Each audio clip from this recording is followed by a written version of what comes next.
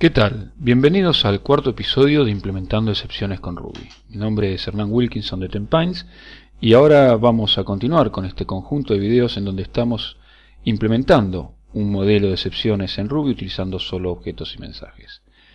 ¿Qué hemos hecho en los primeros tres episodios? Bueno, ya tenemos dos tests el primero, que asegura que un bloque es ejecutado cuando recibe el call handling y su exception handler no es evaluado si es que el primero no levanta una excepción.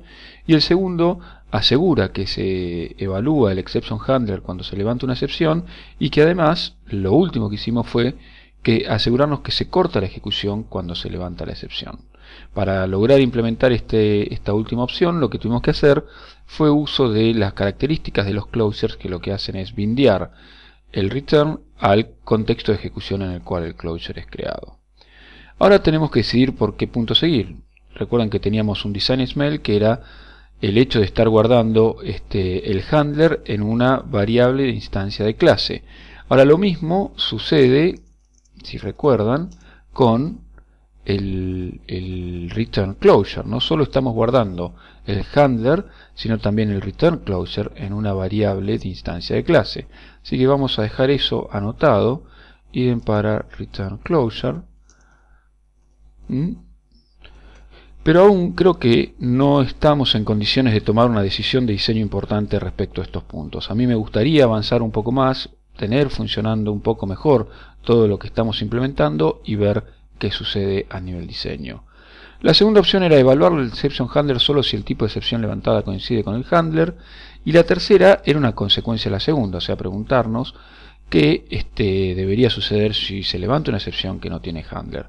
Como la tercera es una consecuencia del segundo, parecería que lo más interesante es agarrar el segundo punto y tratar de resolverlo. Así que eso es lo que vamos a hacer. Para ello, primero tenemos que escribir el test. Entonces vamos agarrar el test 2 y de vuelta aún no hemos eh, hecho lo suficiente como para poder ponerle buenos nombres a los test. Recuerden que estamos todavía dejando para más adelante todos los que serían cambios de diseño, buenos nombres, etcétera, porque aún estamos entendiendo un poco lo que estamos haciendo.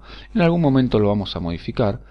Y lo que queremos hacer ahora es asegurarnos que por ejemplo, si yo levanto una excepción de tipo new exception, pero lo que quiero handlear es una excepción de tipo new exception subclass, por ejemplo, ¿qué es lo que tiene que suceder? Lo que tiene que suceder es que el exception handler no se tiene que ejecutar. Por eso ponemos el flank acá.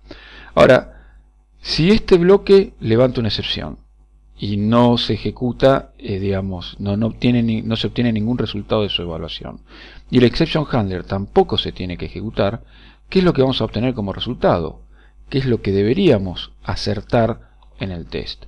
Bueno, aún no está claro, entonces lo que vamos a hacer es borrar esta aserción, pero voy a mientras tanto poner también un flank porque yo este test no lo tengo terminado, no está perfectamente escrito. Entonces, si no pongo ninguna aserción eh, o, ningún este, fail, este test puede llegar a ejecutar y tener un falso positivo. Entonces, para indicar de que hay un problema, que todavía el test no está terminado, voy a poner el flank acá. ¿Pero por qué? Porque quiero ver qué sucede si lo ejecuto. Así que bueno, vamos a ver qué obtenemos si lo ejecutamos. Bueno, primero un error debido a que new exception subclass no existe. Vamos a implementarla. Y esta new exception subclass tiene que ser subclase de new exception. Ahora sí, Vamos a ver qué pasa si ejecutamos. Ahora tenemos un error y el error se debe a que se está evaluando el exception handler. Y eso es correcto porque es lo que teníamos hecho hasta ahora. Pero tenemos que modificar nuestro código para que eso no suceda. Ahora estamos viendo que el handle siempre ejecuta el exception handler, no importa el tipo de unexception. Entonces lo que vamos a hacer es, o lo que deberíamos hacer es, si el tipo de unexception es digamos, es de algún tipo, entonces ahí sí tenemos que ejecutar el exception handler y devolver el resultado de su evaluación, y si no, bueno, aún no sabemos qué hacer, ¿no? ¿Qué deberíamos hacer si no se encuentra un handler para una excepción? Bueno, fíjense que esto es justamente la tercera pregunta. el tercer to-do que teníamos. Mm, pero estábamos haciendo el segundo. Bueno, a ver. Por ahora, entonces, tomemos una decisión. Si el código llega a esta parte, lo que vamos a hacer es un fail. ¿sí? Porque no tenemos preparado nuestra infraestructura para que soporte el caso de que no haya un exception handler. Por otro lado, tenemos que de alguna manera definir qué es este XXX. Bueno, pero este XXX es la clase que nos están pasando como parámetro en el mensaje call handling. O sea, de alguna manera, cuando se evalúa el handle, tenemos que asegurarnos si la excepción es de tipo an exception class, entonces sí evalúa el handler, y si no, tendría que fallar por ahora. Entonces, de vuelta, de la misma manera que utilizamos una variable instancia de clase para el return closure, vamos a utilizar una variable instancia de clase para el exception class. Por ejemplo, lo podemos llamar current exception to handle class, a la cual le vamos a pasar an exception class. Y vamos a definir el método correspondiente. Que recibe como parámetro an exception class. Y lo vamos a guardar en una variable instancia de clase ¿no? Bien entonces ahora que lo tenemos en una variable instancia de clase podemos desde el handle acceder a ella entonces, si es que la excepción es de tipo current exception to handle, se handlea esa excepción, y si no, lo que va a suceder es que va a fallar. A ver, veamos qué sucede ahora si corremos los test. Bien, el 1 y el 2 siguieron funcionando, el 3 dio un error porque se está justamente ejecutando el fail. Mm. O sea, lo que está pasando es lo que queríamos. No se está ejecutando el handler y entonces se produce ese error. ¿Cómo podemos hacer que este test pase rápidamente? Bueno, una opción es decir, bueno, a ver, voy a devolver un objeto que me indique que realmente se terminó la ejecución. Por ejemplo, voy a devolver handler not found. Si no se encuentra el handler. Y lo que voy a esperar como resultado es entonces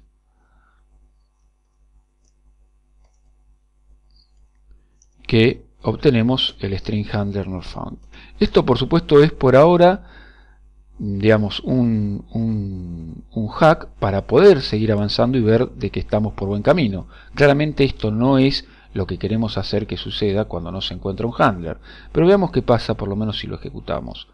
Bueno, ahora ya no da un error, está dando un, este, un fail.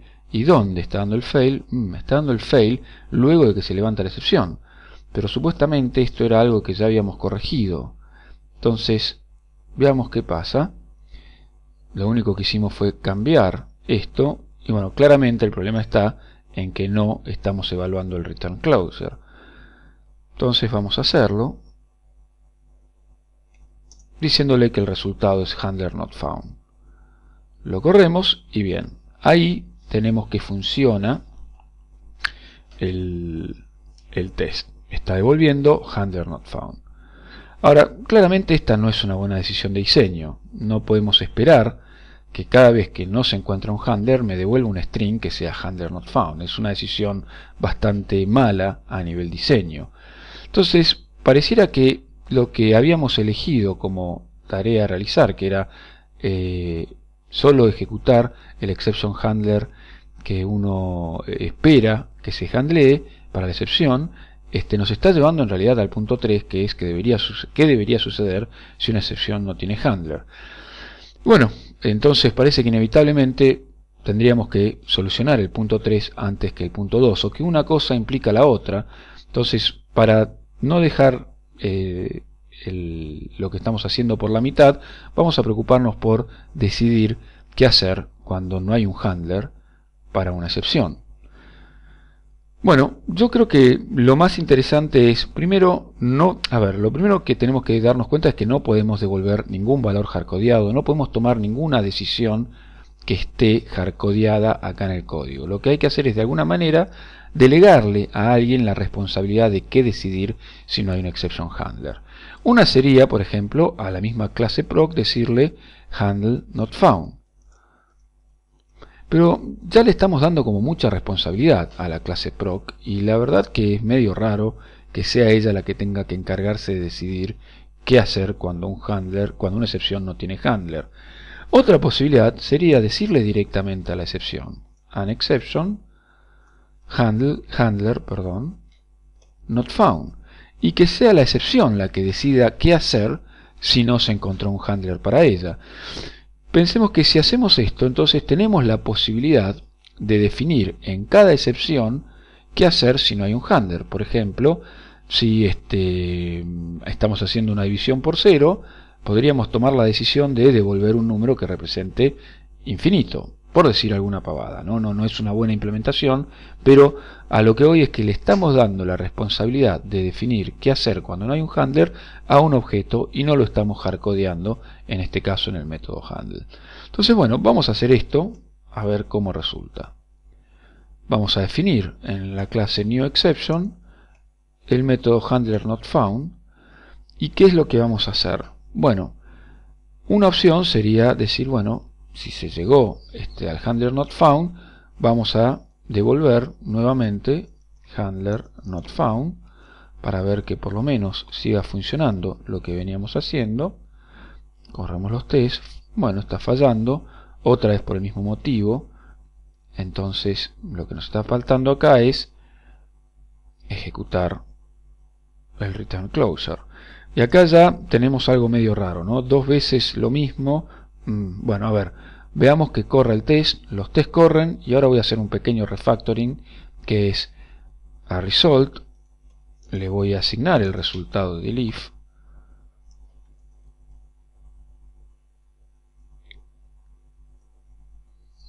y luego vamos a evaluar el return closure con result. Vamos a ver si este pequeño refactoring funcionó. Sí, funcionó. Fíjense que solo hice el refactoring una vez que los tests funcionaran. Y ahora está un poco más interesante el código. Y es más, hasta podría agarrar esto y extraerlo en un método para darle un poco más de semántica. Pero por ahora lo vamos a dejar así. Bien, entonces ya por lo menos le estamos delegando la excepción qué hacer cuando un handler no se encuentra. Ahora, devolver un string mm, no tiene mucho sentido. Lo que parecería tener sentido es decir, bueno, no se, no se encontró un handler para una excepción, y eso es realmente una excepción. Entonces, podríamos agarrar y decir eh, unhandled exception throw ¿no? O sea, por default, cuando no se encuentra una excepción, lo que estamos haciendo es levantar una excepción que diga que no se encontró un, un, handler para una excepción. Entonces vamos a definir esta clase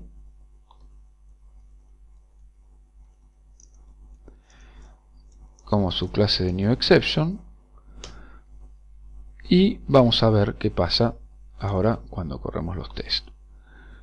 Bueno, el test 1 pasó, el 2 pasó, el 3 está dando un error medio raro, que es stack level too deep. O sea, estamos entrando en un este, círculo infinito, estamos cayendo en un stack overflow.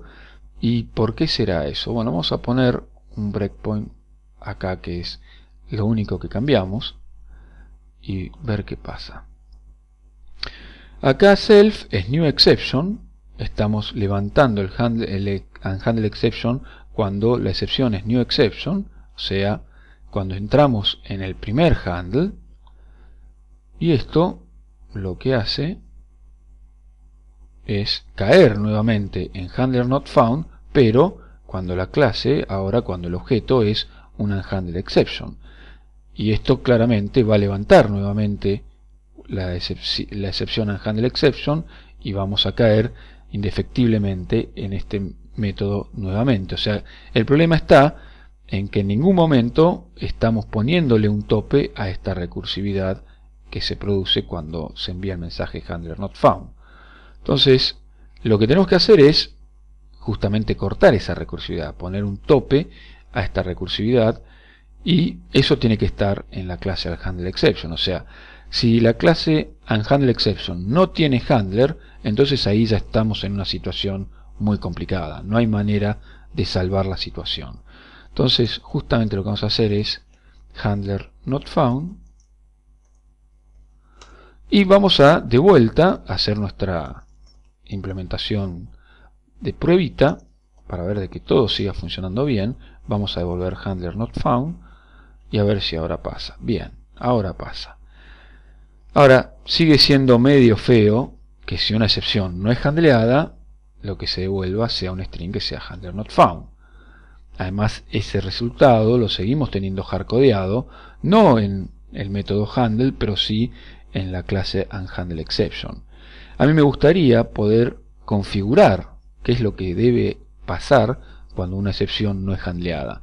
Realmente que no se me ocurre todas las opciones que uno podría tomar. Una opción sería, por ejemplo, bueno, si hay una excepción que no es handleada, hay que matar el proceso que se está ejecutando actualmente o hay que bajar el sistema. Bueno, hay muchas decisiones que se pueden tomar. Otra decisión sería dampear a un archivo el estado de ejecución y después reiniciar el sistema. Bueno, etcétera. Por lo tanto, tomar una decisión como esta, que es devolver un string, no es una buena decisión desde el punto de vista de diseño. Entonces, yo podría decir, ok, vamos a salir del sistema devolviendo, supongamos, menos 1 como estatus. Pero de vuelta eso sigue siendo un hardcodeo. Está bien, ya no estamos devolviendo un string, pero estamos devolviendo, estamos saliendo del sistema con menos uno. Y lo peor de todo es cómo puedo testear que esto está sucediendo realmente. Es muy complicado poder testearlo porque si hago un exit de menos uno, lo que va a terminar pasando es que se, se sale del test sin terminar su ejecución y en este caso me lo está marcando como un error. Entonces, lo que vamos a hacer es, para poder testear que realmente se termina evaluando el handler not found de, unhandled exception, vamos a configurar qué hacer cuando la clase unhandled exception recibe el mensaje handler not found. ¿Y cómo lo vamos a configurar? De vuelta utilizando un bloque. O sea, lo que vamos a hacer es decirle a la clase handler not found y ahora sí handler not found en la clase evaluar un handler not found closure o block y este handler not found closer lo vamos a poder inicializar de alguna manera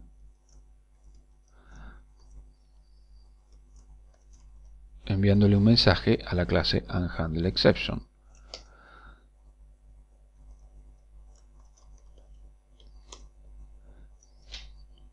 Vamos a quedarnos con él dentro de una variable instancia de clase, nuevamente.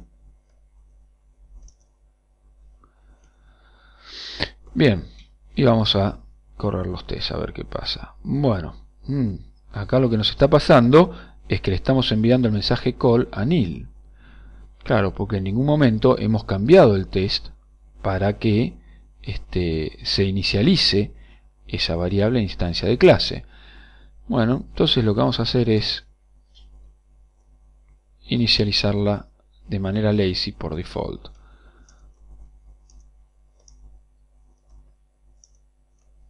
Eh, vamos a decir default handler not found closure. Y ahora vamos a definir este método de tal manera que devuelva un lambda que haga un exit menos 1, supongamos. ¿no? Es el default handler. El, el, default handler cuando no se encuentra un handler. ¿no? Si por el contrario el, el, el, default, el handler not found closure está definido, entonces se va a evaluar. Bien, vamos a ejecutarlo. Esto lo que debería suceder es que el test 3 termine sin ejecutarse, cosa que es lo que está sucediendo. Y ahora sí, vamos a modificar el test 3 de tal manera que le podamos decir a unhandle exception to handler not found closure es, por ejemplo, algo que me devuelva handler not found. Y ahora sí, lo tenemos configurado de tal manera que no quede hardcodeado salvo para el test. Corremos los test y sí, funciona. Bien, entonces fíjense todo lo que hemos hecho, ¿no? Hemos definido la clase UnHandleException, que es la que se utiliza cuando un handler no es encontrado por una excepción. Le dimos la responsabilidad a la excepción de decidir qué hacer cuando no es handleada, por lo tanto ese comportamiento puede ser redefinido en, las subclases y mismo se puede definir también qué se debe hacer cuando un UnHandleException no es handleada. O sea, nosotros ahora estamos en condiciones, si queremos, de escribir un nuevo test que lo que haga sea anidar un handler adentro de otro y ver de que cuando no se handlea una excepción, lo que sucede es que se levante, que se levanta una unhandler exception. Entonces, esa es una de las tareas que tenemos por delante, poder analizar qué hacer cuando se anidan excepciones. Vamos a ponerlo. Eh, analizar, en definitiva implementar handlers anidados. Y otra cosa que también queda pendiente es el tema del diseño. Fíjense que ahora no solo estamos usando una variable de instancia de clase para el handler y para el return closer, sino también para el exception to handle class. Esto ya es como demasiado evidente. Estos tres objetos están juntos y parecería que hay que empezar a reificarlos y ponerlos en alguno otro. Entonces vamos a agregar idem para este objeto. Bien, y por último, este, lo que nos falta es asegurarnos que el default handler not found closure realmente haga un exit de menos 1. Testear eso es todo un tema. Vamos a ver si llegamos a hacerlo. Testear Bien. Bueno, ya tenemos nuestros to-dos para seguir trabajando. Lo que hemos visto entonces en este episodio fue desde el punto de vista de diseño, hemos creado una clase que es Exception para indicar que una excepción no fue handleada, pero lo más importante de todo es que hemos evitado hardcodear este, decisiones de diseño y lo hemos delegado dentro de lo posible a otros objetos, primero para que se pueda configurar en cualquier momento lo que se quiere hacer, lo cual nos permite justamente poder testear que todo funcione correctamente. Este, desde el punto de vista de Test Driven Development, algo interesante es que empezamos por una opción que era la opción 3 y terminamos realizando, perdón, la opción 2 y terminamos realizando la opción 3, que esto lo vamos a pasar ahora a Dan. Bueno, espero que hayan disfrutado de este episodio y los veo en el episodio número 5.